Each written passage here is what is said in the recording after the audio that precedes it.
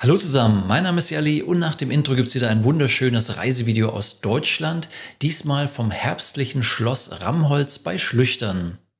Das Schloss in seiner heutigen Form, das verschiedene Baustile kombiniert, gibt es seit 1896, wurde aber erstmals 1167 urkundlich erwähnt.